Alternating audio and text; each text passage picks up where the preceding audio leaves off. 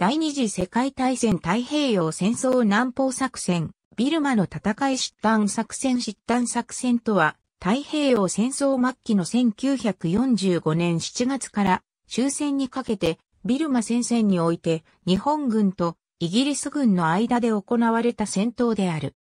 日本の第28軍が失端川を越えて、ビルマ東部へ撤退しようとして発生した。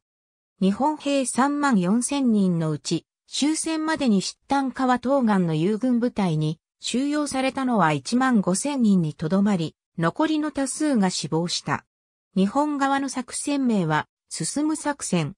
また、日本軍が撤退援護のために行った失端側の湾曲部における戦闘失端ベンド作戦とも呼ぶ。1945年、ビルマ戦線においてイギリス第14軍の全面的な反攻作戦が開始された。3月末までに日本のビルマ方面軍はイラワジ海戦で敗北し、日本軍の指導下で組織されていたビルマ国民軍はビルマ国に対する全面反乱を起こして日本軍を攻撃した。4月23日にはビルマ方面軍司令部がビルマの首都ラングーンからモール面に交代し、霊下部隊のうち第15軍はシッタン川を渡ってタウングルの対岸付近を経て6月には太陽国やインドシナ半島へ移動開始、第33軍もシッタン川を渡って川口東岸に交代した。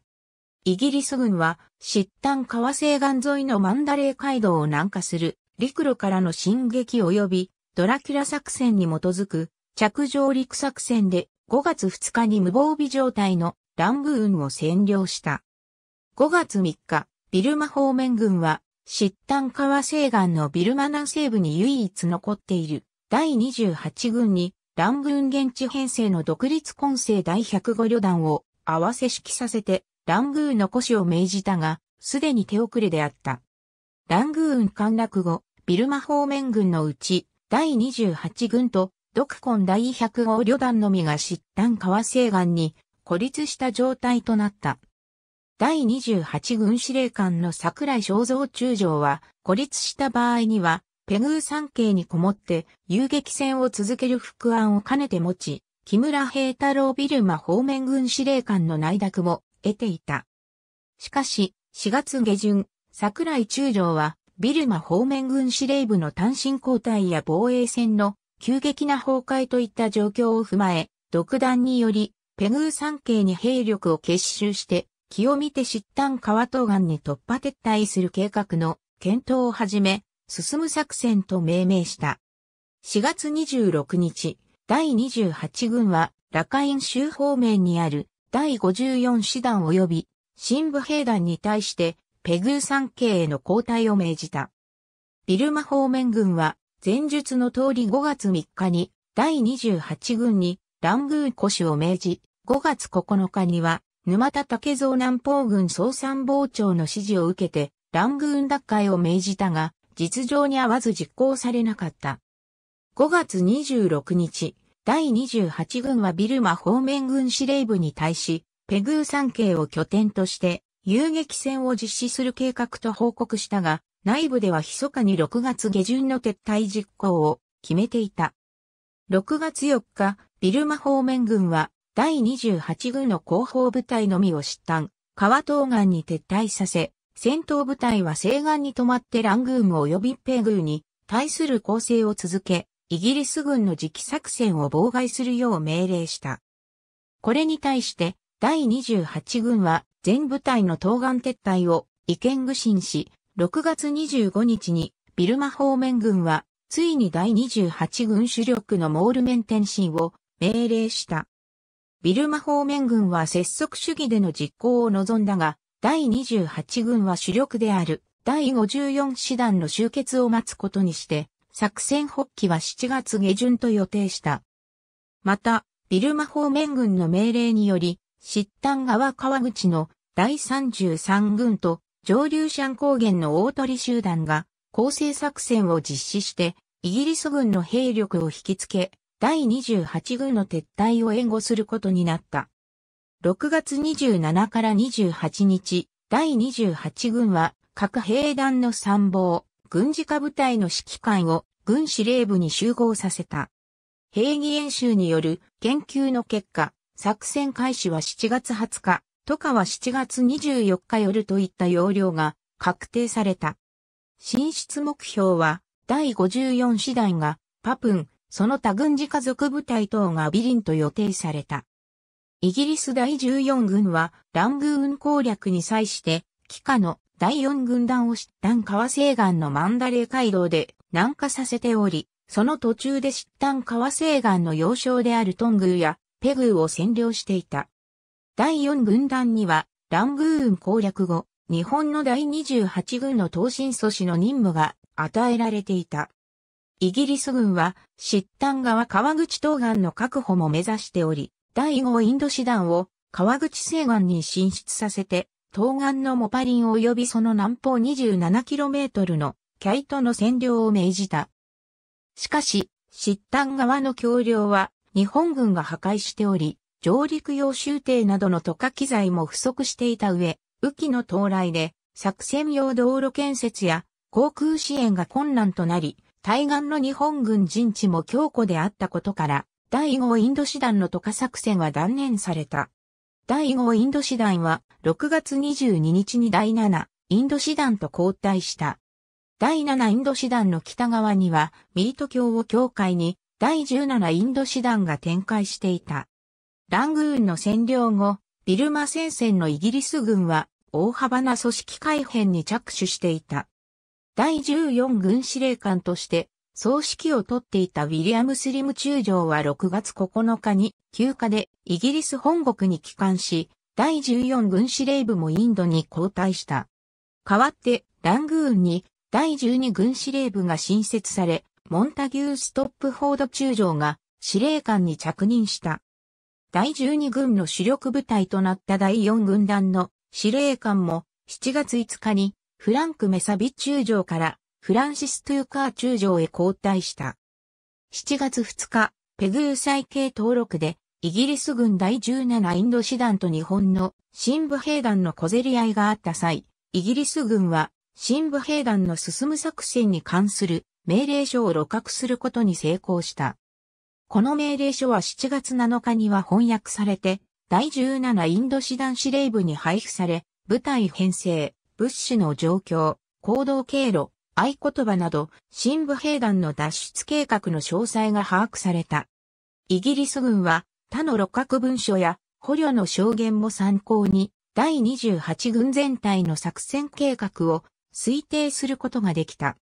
日本側の作戦開始日だけがわからなかったが、作戦開始直前の7月18日に捕虜となった連絡士官と憲兵軍曹から判明した。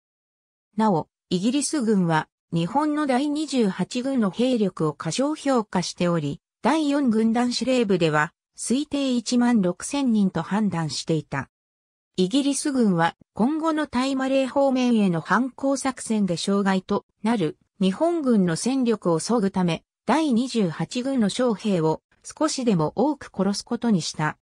転出直前のメサビ第4軍団司令官は、急いで情報を分析し、第28軍主力の渡河地点をピョイコールニュアンレビン、間の 120km の範囲と推定すると、担当の第17インド師団に3個大隊を増援として送った。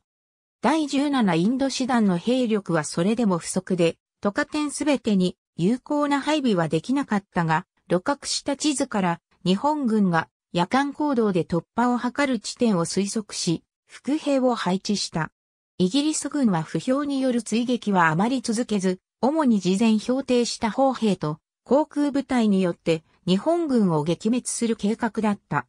反乱した疾端川区局部の湿地の中を進むイギリス軍保障を描いた絵画。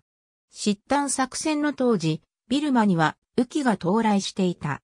4月下旬から5月上旬にかけて南部ビルマでは豪雨が降り、5月20日には本格的な雨季に入っていた。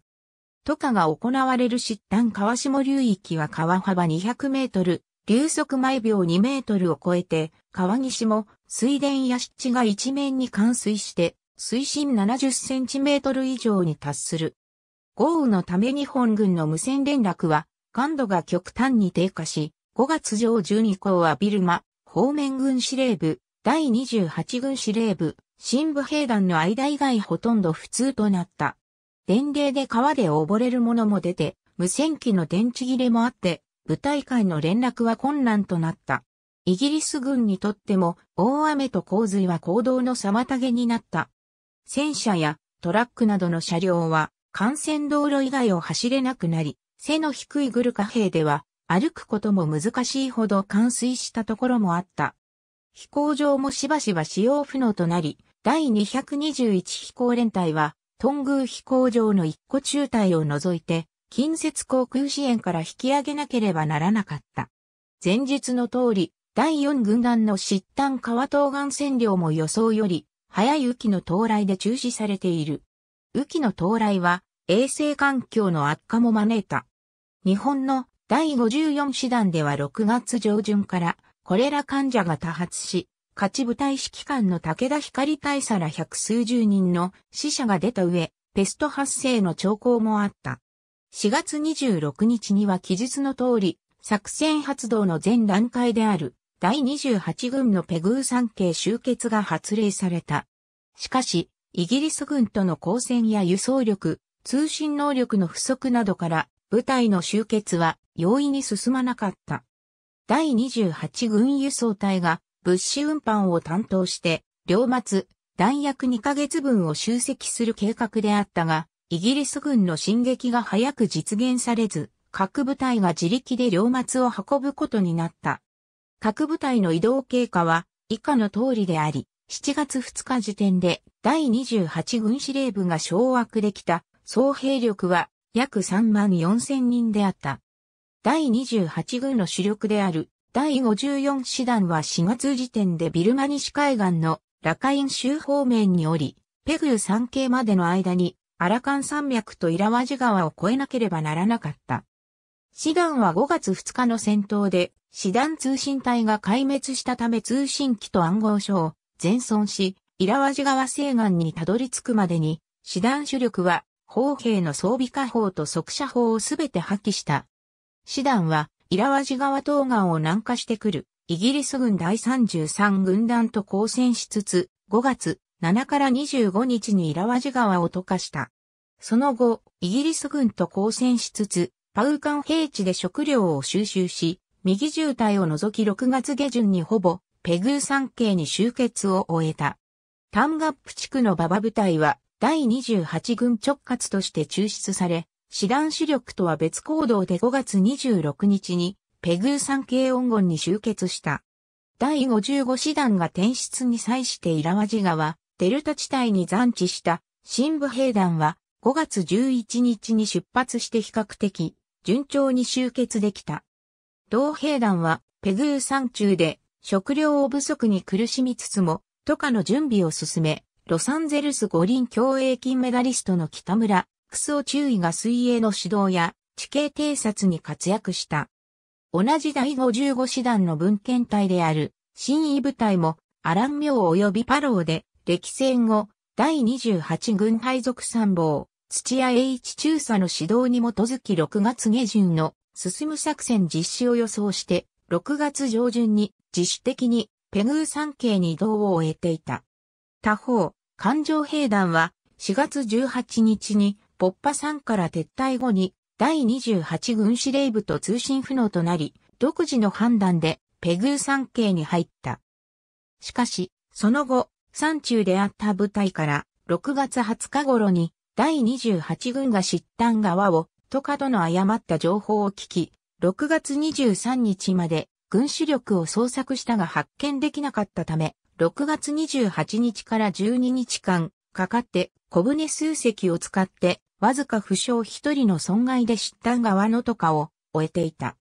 ただし、不評第112連隊第1大隊と中島重砲大隊は同兵団主力とはぐれ、7月16日にペグー山中で第28軍主力に収容された。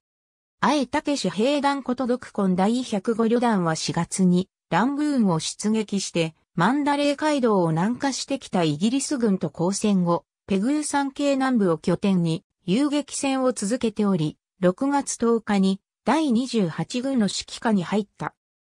配属部隊を合わせて約3400人の兵力を掌握したほか、15km ほど離れた地点に集結した第13警備隊司令の深見森尾大佐率いる第13根拠地帯関係の海軍陸戦隊650人を指揮下に入れるものとされた。集結に失敗した部隊もあり、第28軍の第118兵隊病院は4月29日にパウンデを立ってペグー山中に入ったが、軍司令部と連絡が取れないまま、軽症患者1000人を連れて、独自にモール面を目指して出発した。しかし、5月18日に疾患川とかの準備中に、イギリス軍約150人の攻撃を受けて、松村病院長以下職員38人、戦死、140人生死不明のほか、患者もほぼ全員が戦死、または生死不明となって壊滅した。関鉄兵団こと独立混成第72旅団は4月22日に守備地エナンジョンを失った後に電池切れで通信途絶状態となり分散していた霊下部隊の統一行動ができなくなっていた。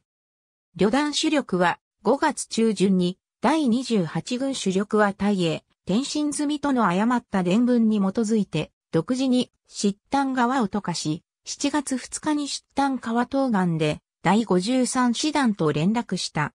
旅団主力とはぐれた独立不評第542大隊は5月下旬にペグー山中で第28軍主力に合流した。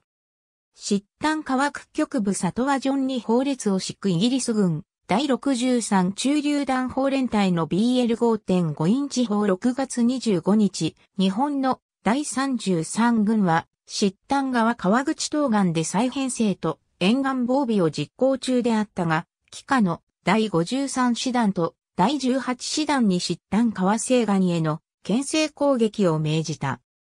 第33軍と第28軍の間で無線は普通のため商工石膏によってかろうじて連絡が行われ、7月20日のとかに先立つ7月3日に牽制攻撃が開始されることになった。投入兵力は第18師団が1000人、第53師団が2000人であった。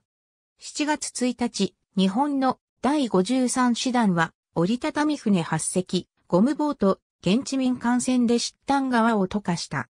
西岸で体制を整えると、7月3日にミート橋を目標に進撃を開始し、7月8日にミート橋とボンパンアウクの各集落を攻略した。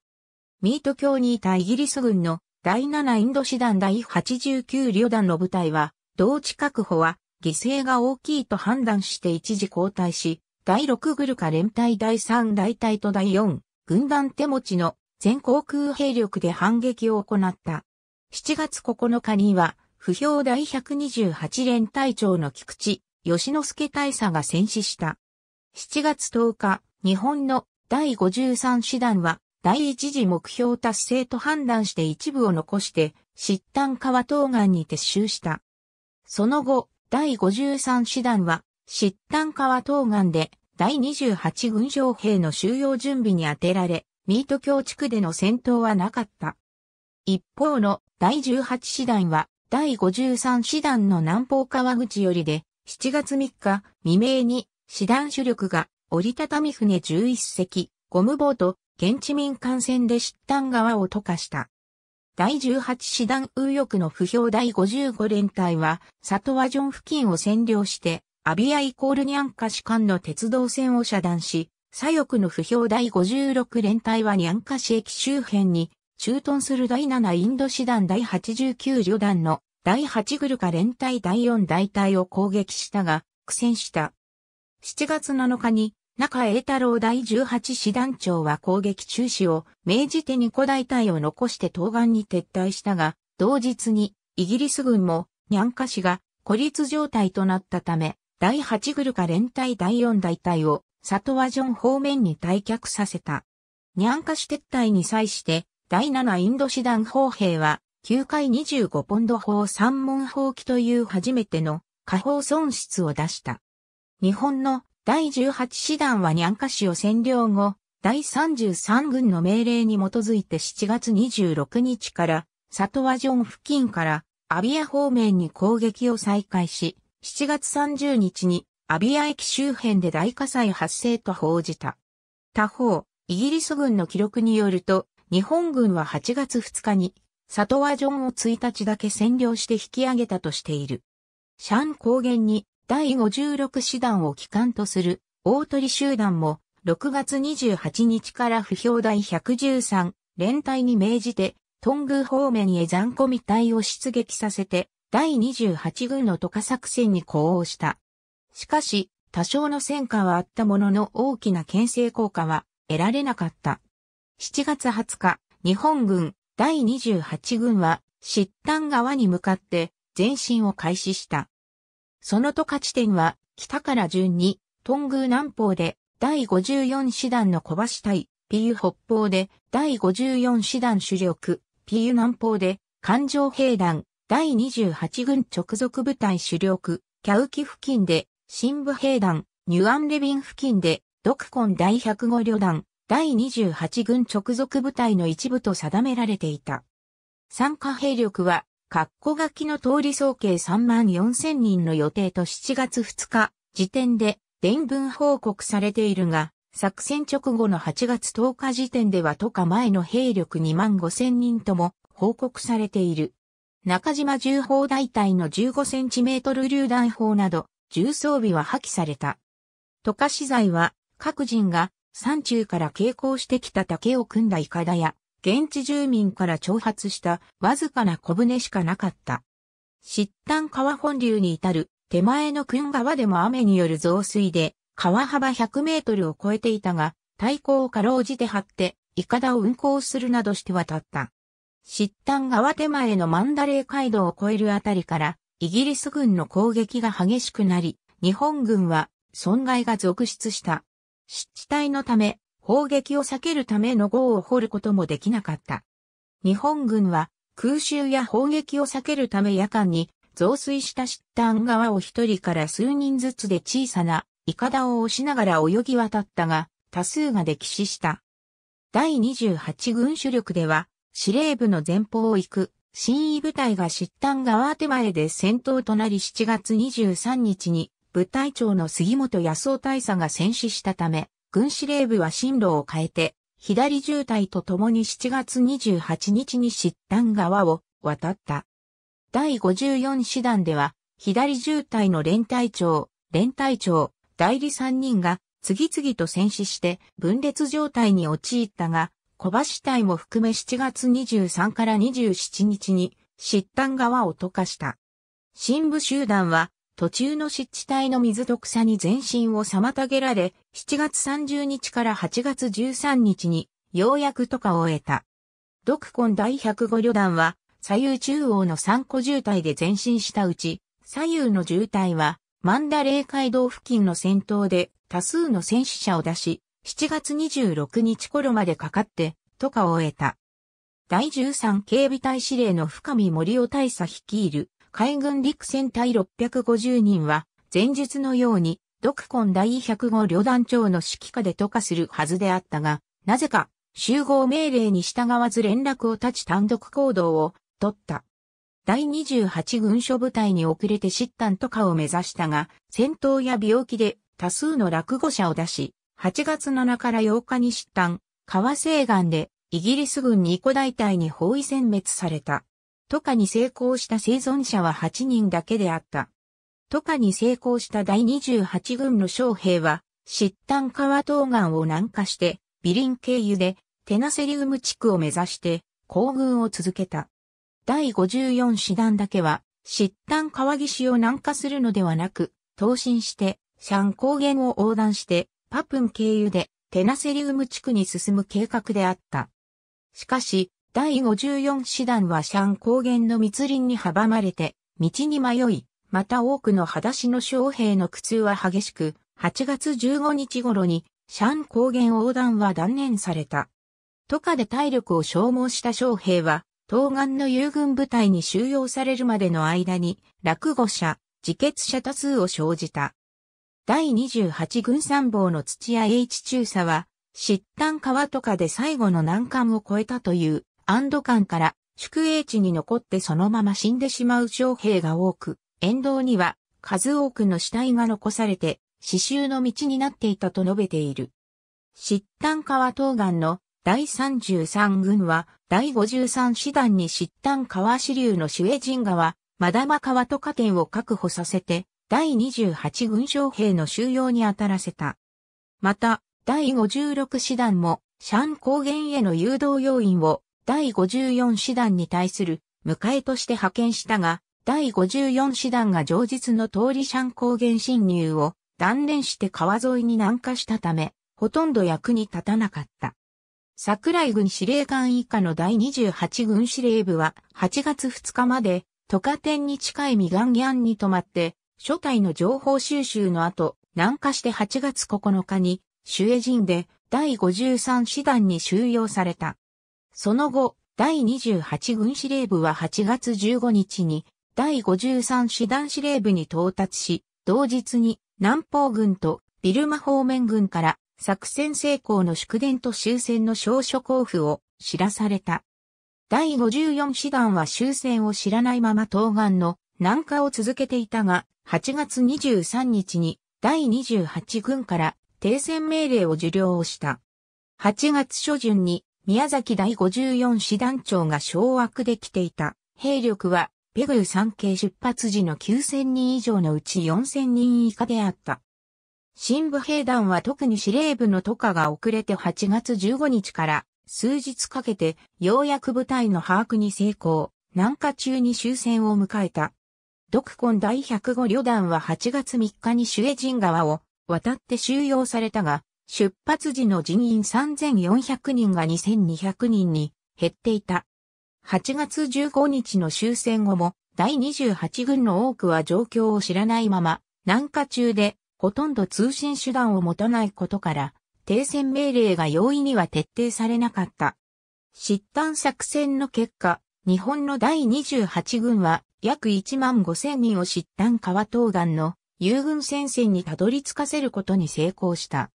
しかし、その代償は大きく、日本軍の人的損害は、ペグー山系に集結したとされる3万4千人を基準にすると2万人近いことになる。もっとも、軍参謀山口少佐の説明によると、実際に撤退に参加した兵力は3万872人に、対して脱出後の掌握人員13,953人で、損害は16,919人になり、第28軍の終戦直後のデータによるとこの損害には同時点での行方不明者4000人と戦病者2000人が含まれている可能性があるため、その場合の戦死者は約1万1000人となる。一方、イギリス軍の推定では日本軍の戦死者、行方不明者は1万2000人である。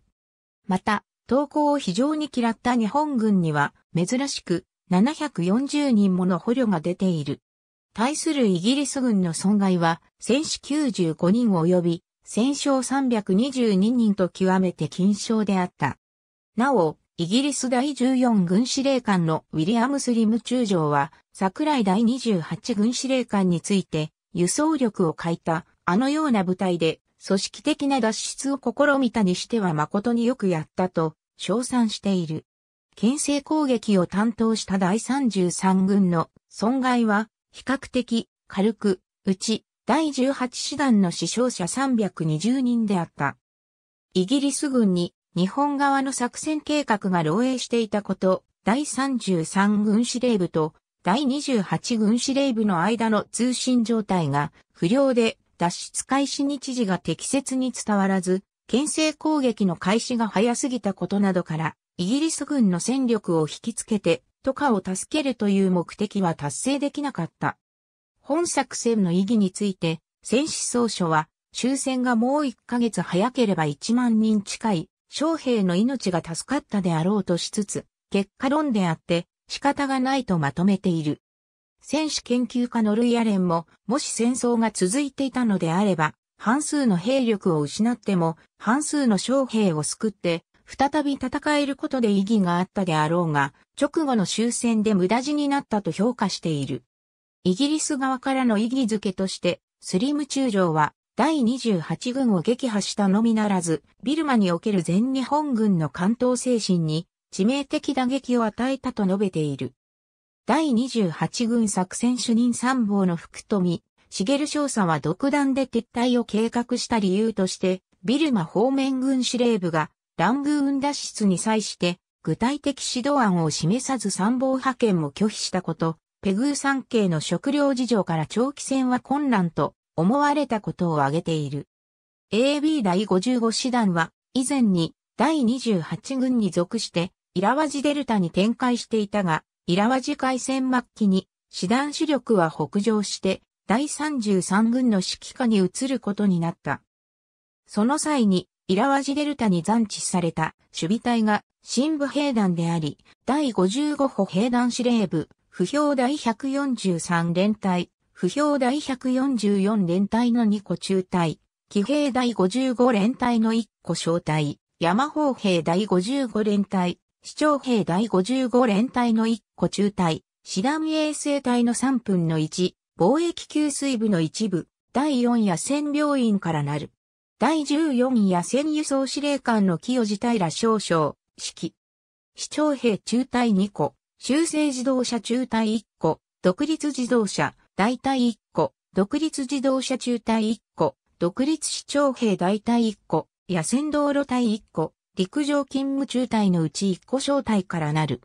馬場部隊は、不評第121連隊主力の他捜索第54、連隊第4中隊、野砲兵第54連隊第3大隊、公兵第54連隊の一部からなる。新位部隊は、騎兵第55連隊長、杉本康夫大佐を指揮官とし、5月14日に移動開始時点で、騎兵第55連隊主力、不評第143連隊第1大隊、山砲兵第55連隊第1大隊その他からなった。ラングーン駐屯の第12警備隊等とミャンミャ駐屯の第13警備隊主力からなる連合陸戦隊で2月18日以降、陸上戦闘について陸軍のビルマ方面軍の指揮下に入ることになっていた。なお、第13根拠地帯のうち田中雷蔵中将以下の司令部人員はビルマ方面軍司令部と同じく、モール面に先行しており、非戦闘員を含む約400人は、魚雷艇、大発動艇などの残存艦艇で回路交代していた。ありがとうございます。